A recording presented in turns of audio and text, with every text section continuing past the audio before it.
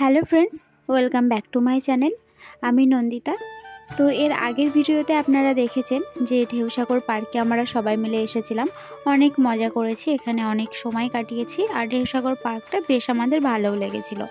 তবে এবার আমাদের মানে রওনা দেওয়ার ইচ্ছে আছে তালসারি তো ঢেউসাগর পার্কেই এখন আমরা আছি, তো এখান থেকে এবার গাড়ি ছাড়া হবে আর গাড়ি ছেড়ে আমরা সোজা যাব তালসারি তো এই ভিডিওতে আমার যতটা সম্ভব আপনাদের সাথে ঠিক ততটাই শেয়ার করব। আশা করছি এই ভিডিওটা আপনাদের ভালো লাগবে।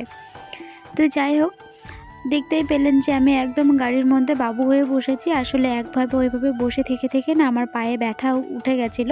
যার কারণে আমি গাড়ির মধ্যে একদম বাবু করে বসেছিলাম, হাত পা গুটিয়ে নিয়ে।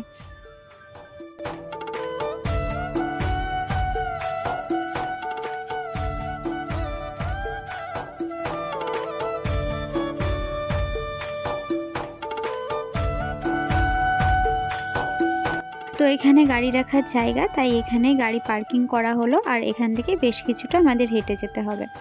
তো কিছুটা হেঁটে গিয়ে দেখছি বেশ এখানে অনেক চিনে মাটির জিনিসপত্র সব মানে মেলা বসে রয়েছে।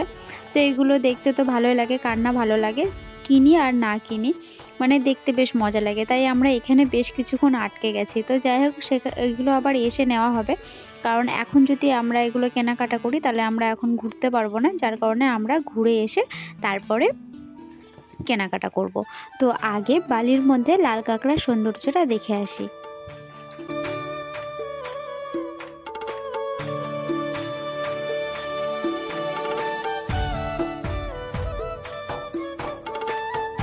তো আমরা প্রথমে এখানে বাইক করে নিয়েছিলাম বাইকে করে গেছিলাম আমরা। যেহেতু নদীর তীর, নদীর কিনারে বাইকে করে যেতে তার মজাই আলাদা।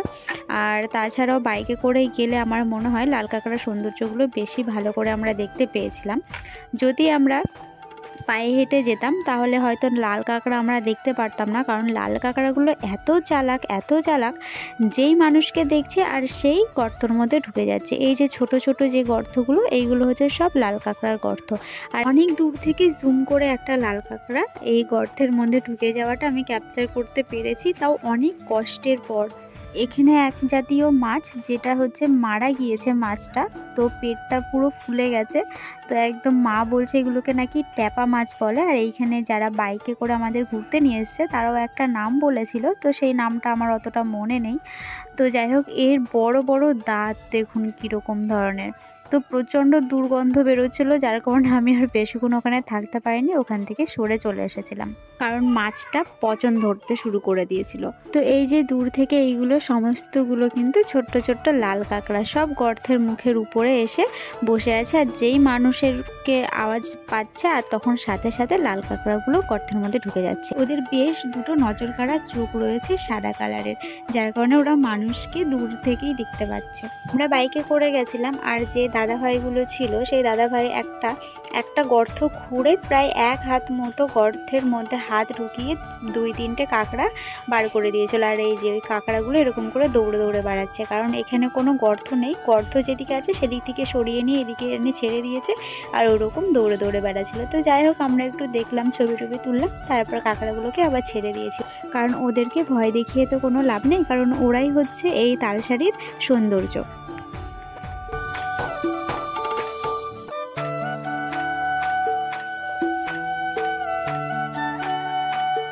তো এতটা রাস্তা আমরা পায়ে হেঁটে আসলে আমাদের নাজেহাল অবস্থা হয়ে যেত। তো বাইক করে নেওয়াটাই বুদ্ধিমানের কাজ। তো যাই হোক, এটা হচ্ছে সাগর আর নদীর মোহনা।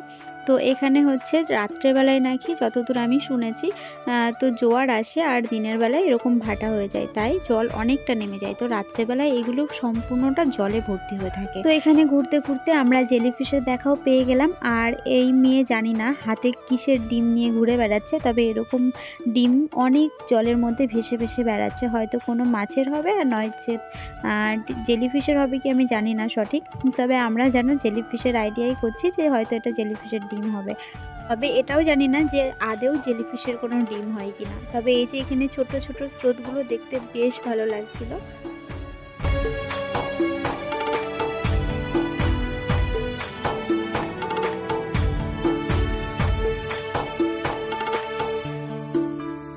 জেলিফিশের গায়ে যেই হাত দেওয়া হচ্ছে, তো জেলিফিশ আস্তে আস্তে যেন আঠার মতো হাতগুলোকে আকর্ষণ করছে, তো সেইগুলোই আর কি আমরা মজা নিচ্ছিলাম।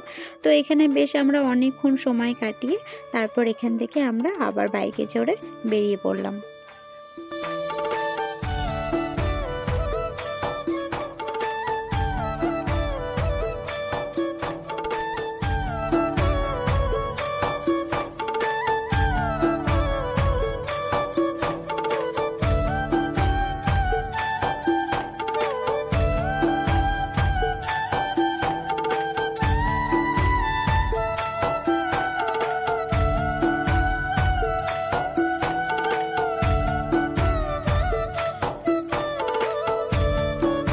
আমার কাছে সব থেকে বেশি সুন্দর যেটা লেগেছে সেটা হচ্ছে এই যে নদীর কিনারায় নৌকোগুলোকে।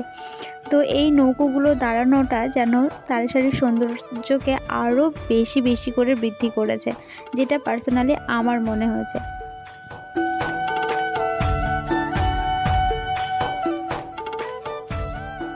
অবশেষে চলে এলাম এবার কেনাকাটার কাছে। এখানে প্রচুর চীনামাটির জিনিসপত্র, বিভিন্ন ধরনের জিনিসপত্র আছে। তো এগুলো কেনাকাটার জন্য অনেকক্ষণ ধরে মনটা চুকচুক করছে যে কখন আমি ওই স্থানে যাব আর কখন আমি কিছু জিনিসপত্র কেনাকাটা করব। তখন নিইনি কারণ চীনামাটির জিনিসপত্র নিয়ে যেতে যেতে যদি ভেঙে টেঙে যায় সেই জন্য। আর এখন কেনাকাটা নিয়ে সোজা আবার গাড়িতে গিয়ে রেখে দেবো। তো কি কি কেনাকাটা করেছি সেটাও কোনো এক ভিডিওর মাধ্যমে আপনাদের সাথে শেয়ার করে দেব। তো এই ভিডিওটা এই পর্যন্তই। ভিডিও যদি কিছু ভালো লাগে থাকে, তাহলে প্লিজ একটা লাইক করে দেবেন কমেন্টে লিখে জানাবেন ভিডিওটা কেমন লেগেছে। আর চ্যানেলে যদি নতুন বন্ধু হয়ে থাকেন, তাহলে প্লিজ চ্যানেলটিকে সাবস্ক্রাইব করে বন্ধু হয়ে আমার পাশে থাকবেন। তো নেক্সট ভিডিও আবার দেখা হতো